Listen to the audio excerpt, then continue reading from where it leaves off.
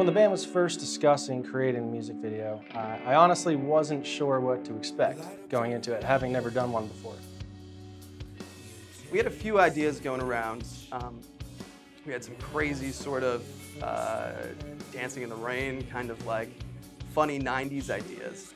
But we settled on something that was almost reminiscent of like Saves the Day, sitting on a couch. You know, just, just that early 2000s, 90s vibe. You know, it, it's lighthearted, but also full of emotion. I didn't really know what to expect going into making this music video, but I'm really uh, pleasantly surprised at the outcome. It was an absolute blast. Tuck came up with the idea. He's the vocalist. He writes the lyrics. All of these songs, especially Spiral Gaze, mean a lot to him. So musically, we needed to think about how we could portray this with our friends and family to make this a whole effort and one big community awesome video.